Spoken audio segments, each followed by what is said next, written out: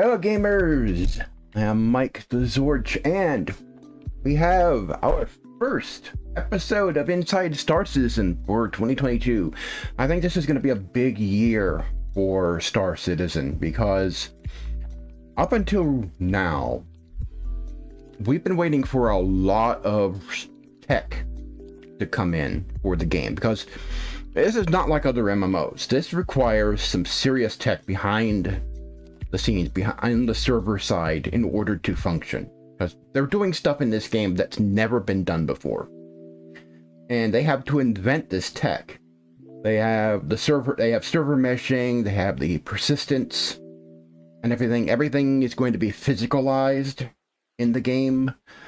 And it's never been it's been done on a small scale in other games. But it's never been done on a scale like this never been done on a scale like this, and that stuff takes time to develop. Game development is expensive. Game development takes time. They've been at this for they've been at this for 10 years. Um this iteration of Star Citizen that we have now has not been in development for 10 years. It's actually been in development since um, about 20 15, 16.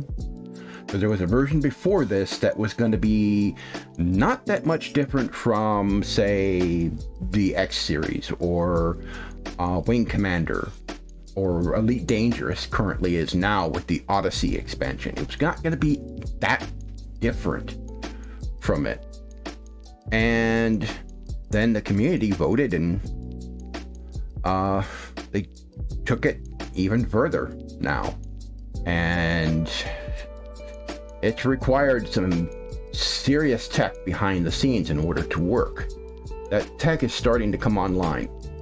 And what that's doing, what that tech will allow, for them to finally start bringing other star systems into the game. That will allow them to uncap the server limits of down up up to 50 people because they're already implementing some things that um, prevent the servers from being full. Like they're that when you sign on, you are paired up with a server that is not as full as you were before. Before, you know, you were paired up with a server that had um, it does better server matchmaking basically. And so whenever Tiger was in the game and I wanted to join him, I couldn't because the server was always full. Now, it's not. But yet there are more people playing Star Citizen now than there have been. And they've been able to spread them out because the servers are virtual. They spin them up as they need them. They're not uh, affixed servers. Now, the first iteration of server meshing, they'll have fixed shards. Then the second iteration will be dynamic, where the shards will spin up when they're needed, and they will they communicate with one another. So each of the shards will technically still have a 50 player limit, but they will communicate with one another, so you'll actually be able to have more people than that in an area and interact with them. It, it, it's complicated how it works. This this sort of thing, doing this sort of network intercon inter interconnectivity of what they're trying to do is insanely hard. Insanely hard. And they're having to do it fast enough because this is a real-time FPS. This is not a uh, game like Final Fantasy 14 or whatever, where you have certain tol or WoW, where you have certain la latency tolerances. No, this is a twitchy game, and it has to be able to respond fast. Anyway, uh, let's get into this episode and uh, see what it's all about.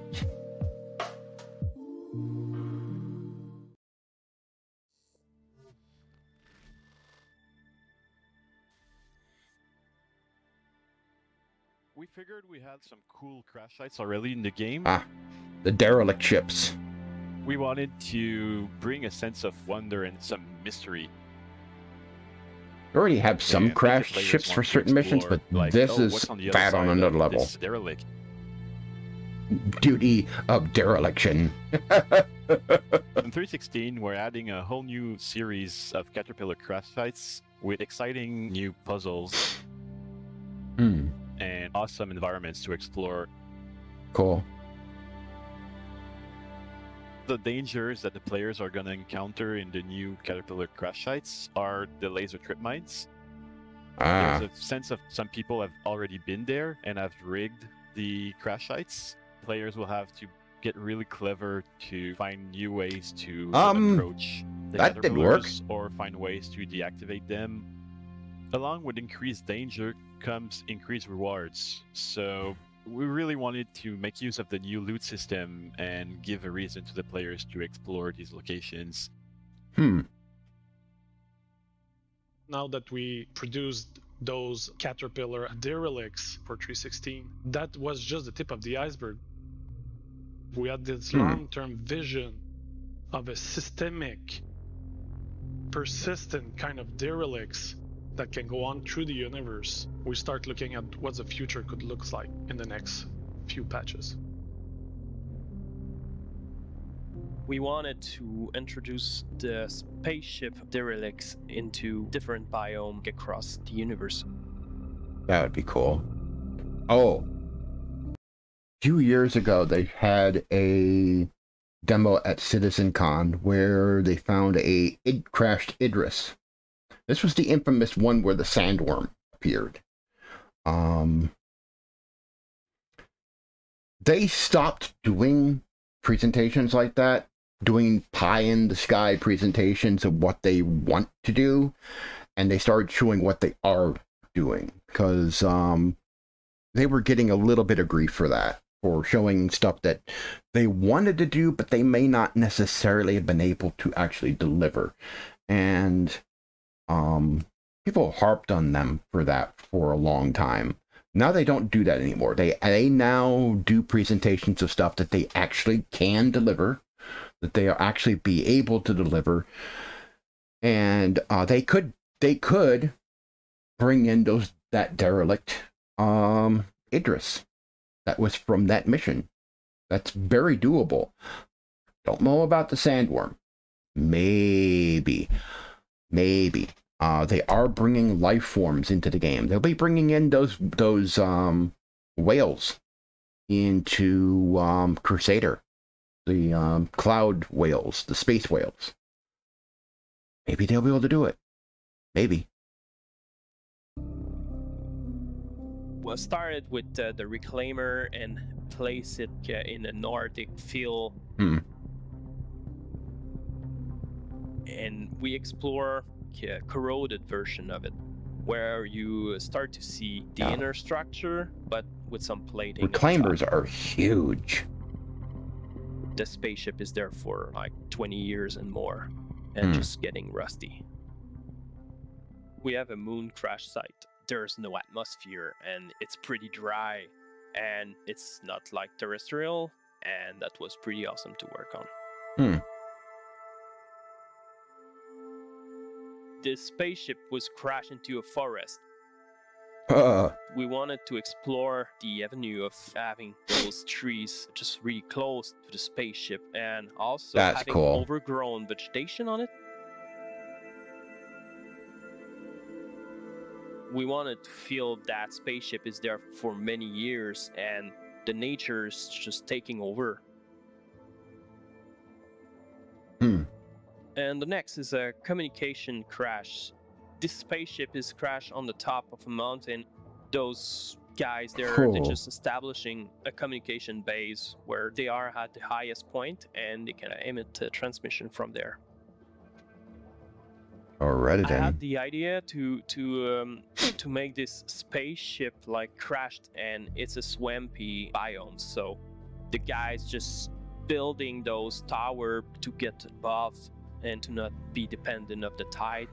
It's adding like a lot of verticality in this, and it's pretty cool. Ow. We all grew up with the same kind of images.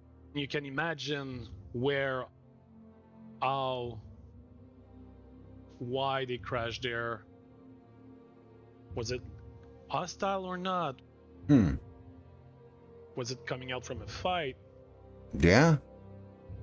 And then to imagine the second and the third life of them, it's captivating. That could be set. That could be, be turned into settlements on an emotional level.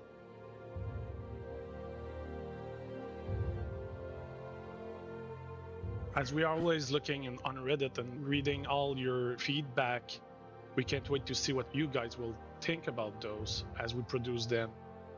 Hopefully, you'll like it as much as we like producing them. Takes a lot to bring down a reclaimer. I know how tough those ships are.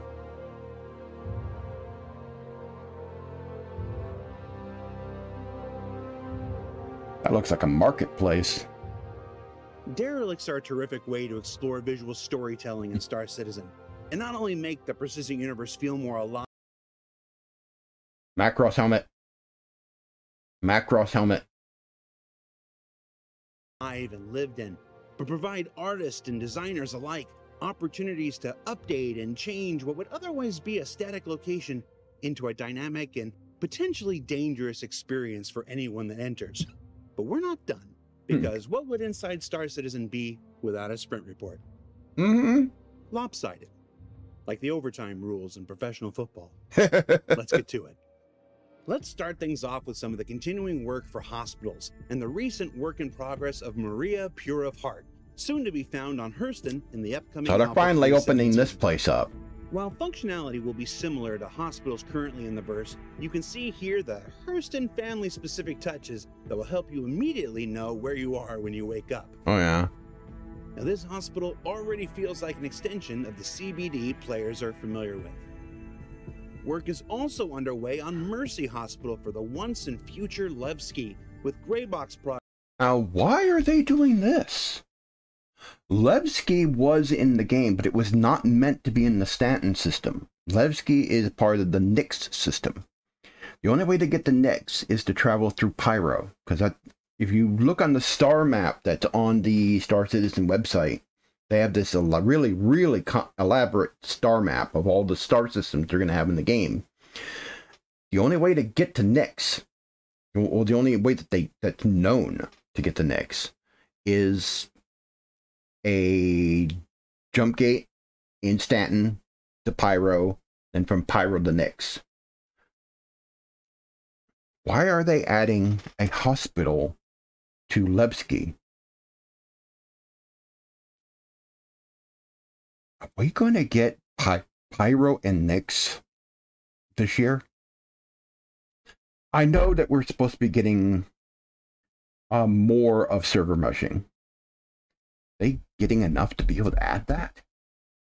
Because the only way that they can add this is server meshing. The only way they can, because the current servers, the way they way they're configured now, they can't handle that much more data.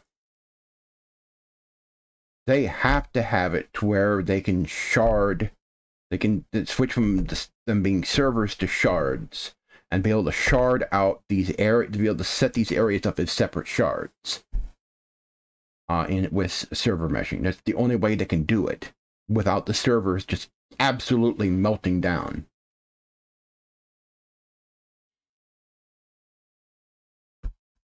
Huh. Unless they're just doing it for consistency because they have other the other landing zones, but this isn't available in the game right now. Not until they add Nyx. And the only way you'll be able to get to Nyx is through Pyro. We do have Pyro is going to be bigger than Stanton. Way bigger. Stanton right now is about the size of the orbit of Mercury. Pyro is going to be bigger. Pyro going to be way bigger. It's going to be so big that most ships can't get through it. Uh, except for the really big ships and certain ships that can carry other vessels, like the Odyssey. Uh, there's the Liberator. That will be a transport. Uh, and they're not going to have a lot of hops, a lot of stops for refueling. So keep an eye on this. progress on the lobby, including nurse station, elevators, insurance and pharmacy booths, and more. Hmm.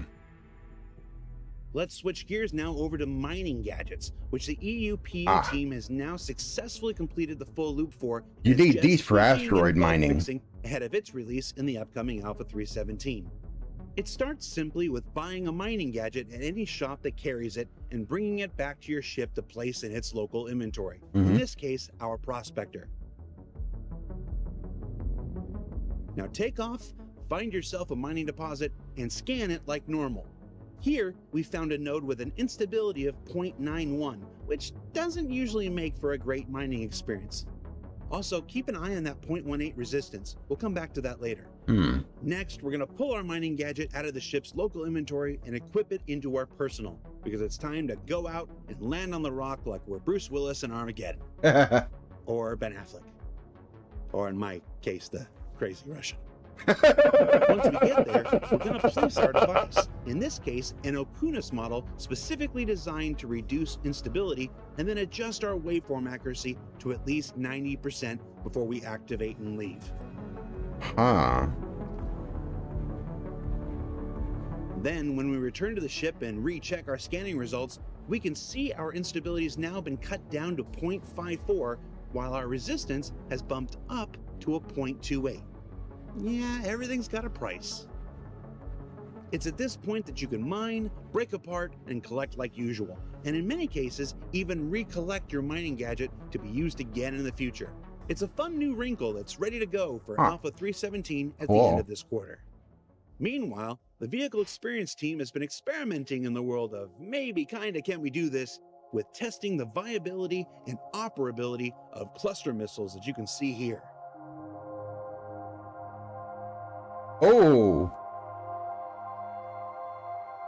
as well as cluster bombs, where one breaks apart into many. And as you can see here, because of the systemic nature underlying every aspect of Star Ouch. Citizen, the explosion of one ends up knocking subsequent drops off their targets. Yeah. It's safe to say more testing and prototyping will be needed before the team considers adding such munitions to the But cluster product. missiles. Oh. I liked adding the cluster missiles, uh, the missiles that fire in swarms to my ship in uh, Free Space. Actually, Free Space 2 had them. I, I always liked doing that. It's like, it's like very anime. missiles shooting out in big swarms. Just, just zoning in on a target and it, it can maybe dodge or um fools a few of them with uh countermeasures but not all of them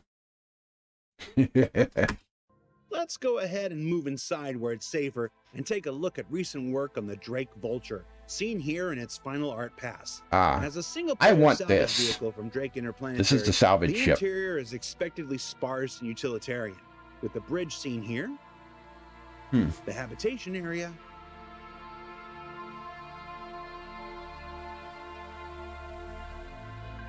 what's a drake ship of course it's going to be spartan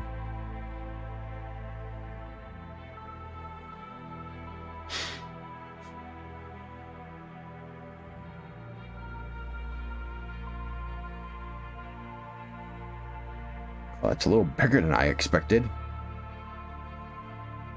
and the processing area. Hmm.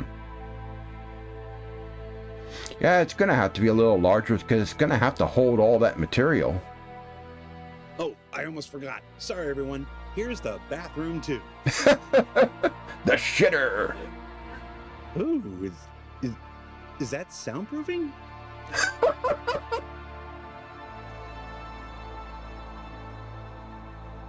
In space, no one can hear you fart. We've also got this look at continuing gray box progress on the RSI Scorpius, where one sprint was for completing the main body Okay. and carving out space for I've been- components, I'm waiting for this one. more, Me and Tiger have been talking about getting in this. this size. And then another sprint where it's a bit further along the gray box phase.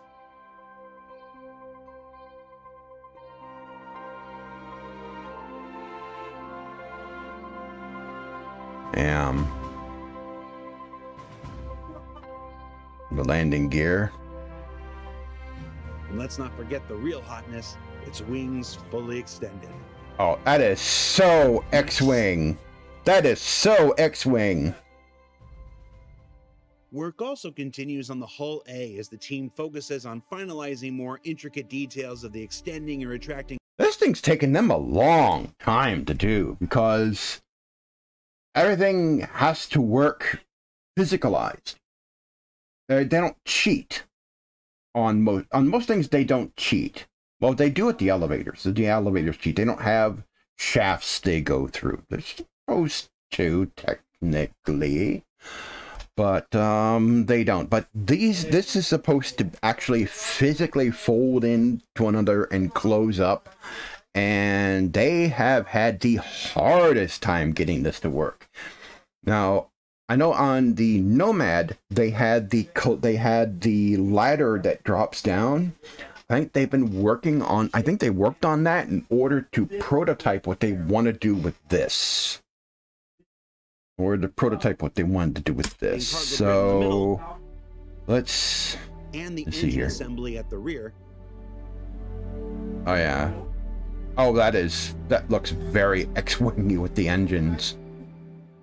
And then the Banu Merchantman continues its early white box explorations for its massive interior. There's another one that's been taking that section, people have been waiting for. Lots of nice movement to it when it's all said and done.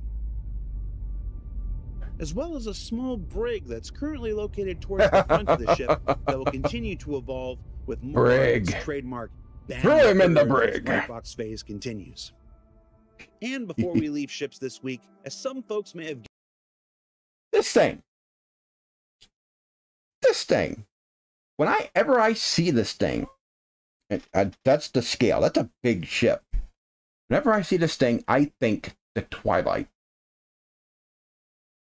Uh, do you know what the twilight is? You ever seen clone wars? That's the ship that anakin and ahsoka flew around in i think they they took it from ventress or or or they, well it they took it from one Ventress, or they took it from um, or Dooku. I forget who they took it from. They they acquired it from, or was it was it that Hutt, that stupid Hutt that got killed? I forget which one had the ship. I know they know they had it pretty early on, and it was their own personal vessel that they flew around in whenever they needed to go anywhere uh, when they weren't in their starfighters. So this looks like that. It, it, it, it just every time I see this thing, it screams twi- the Twilight. Someone over there is a fan of Clone Wars. guess from a recent newsletter sneak peek, the Drake Corsair has begun its journey through the ship pipeline with this look at early white box progress for its exterior, and we're going to continue to follow along with this progress as this most recent creation by the legendary Jim Martin goes from concept to reality throughout this year. Cool. Spacescaping.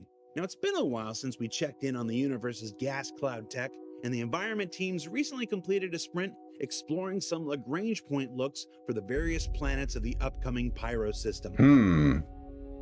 Each star system, planetary area, and planet itself is designed with a specific color palette in mind at the earliest parts of the process. The clouds And they have the right now are pretty cool. May and will change as the lighting Oh, that is that through is the cool. Looks like the pillar the look wrecks like the pillars of, of creation. placeholder, As the call has gone out to create more dynamic and, in some cases, more recognizable debris for the players to explore. hmm Yeah, we're on the road to Pyro this year, and you can expect to see lots Oh, more okay. as 2022 progresses.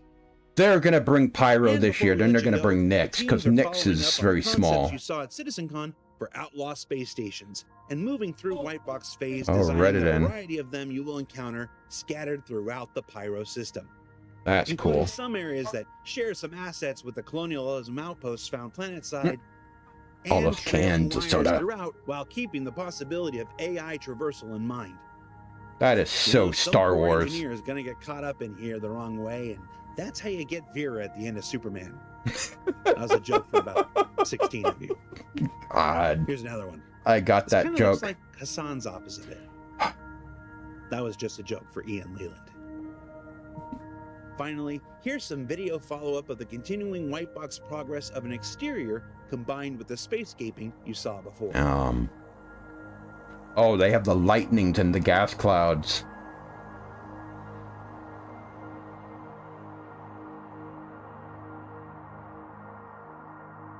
Cool.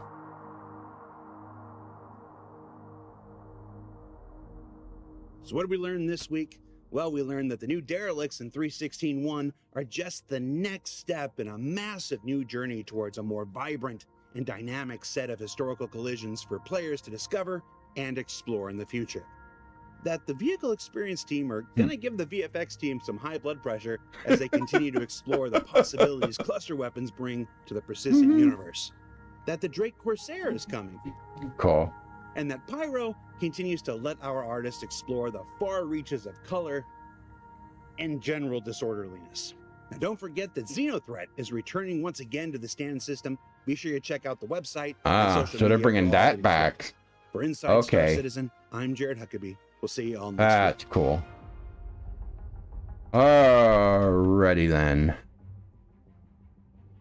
So they're bringing Xenothreat back. Alrighty then. Yeah, Xenothreat. That's a uh, PvP PvE um, thing where there is this gang that's trying to um, take over a part of the Stanton system. It's sort of like the Nine Tails lockdown that they did. It's similar to it. I believe that this this one has the Idris fight, uh, where they bring in an Idris and you have to gang up on it. We may have made some changes, so that so some things may happen in different in a different order uh, with this one. So we will see. I I want to participate in that. Um, we're part of Space Tomatoes org, Garden Initiative, and so we'll probably get with them on their Discord and uh, get into those. Um, I'd really like to do those. I would really like to. So we'll have to get on their, their Discord, talk to them, and find out if they're gonna do it. They probably are. I mean, Space Tomato's gonna do Xenothreat.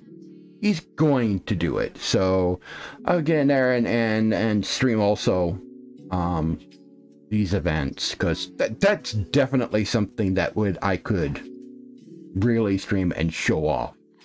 Because I have some com I have some combat ships and I'm not too bad when it comes to comes to flying in combat. So uh yeah, I look forward to that. Anyway, this has been this has been another Inside Star Citizen, the first one for 2022. This is a weekly thing where I react to these videos and uh, we'll see what uh, comes up next week from them. So, what I get from this is they are looking at finally bringing Pyro into the game. And if they're going to do Pyro, then they're bringing Nyx. Because Nyx is a much smaller, simpler star system. One of the planets is already done, which is the planet where Levki. Actually, it's a planetoid. It's more like an asteroid where Levski is at. So bringing that in be very easy for them. Bringing in that system will be very easy. So 2022 getting two star systems for the price of one into the game? I mean, if they're getting server meshing done enough to do that, to actually bring finally, finally, Pyro, this, this, they bring in two new star systems. They bring in by by the end of 2022, they bring in Pyro and Nyx. Because Nyx, Nyx should be done. Nyx is a much smaller, simpler star system. If they bring both in at the end of 2022, that'll shut the critics up. because then there's they're not just one this is not just one star system anymore it proves that they can actually release more star systems into the game it means that they're actually working on it that it's not a scam they're actually adding content they're actually improving the game which which they are and if you follow if i mean if since i started playing in 2019, the end of 2019, since I started playing, Star Citizen has changed significantly. They're, they've added so much. Crusader was just a placeholder that you couldn't visit. You couldn't actually land on it. It was just a ball with a texture on it. Now it's an actual gas giant with an atmosphere you can fly into and land at a floating starport city and they added they added microtech they've added so many things they added the gas clouds they've added several more ships. It's just it's amazing the stuff that they've done in this game. And people have the audacity to say it's a scam. They're making clear progress. The the 30k errors are virtually almost gone. And rare occasions they still happen. Very rare occasions they still happen especially if a server is like really full they can still happen but 90% of the time 30k errors are gone. 30k errors are gone 90% of the time. That's major progress for this game. Anyway, um, that's been uh, Zorch Reacts to Inside Star Citizen. I'll be back with another reaction to Inside Star Citizen next week. And I have been promising that episode of The Professor forever. It is coming. I am still working on ideas for it. I may just have to just knuckle down and actually get it done. Anyways, Thank you for watching. I've been Mike TheZorch, and I will see you next time.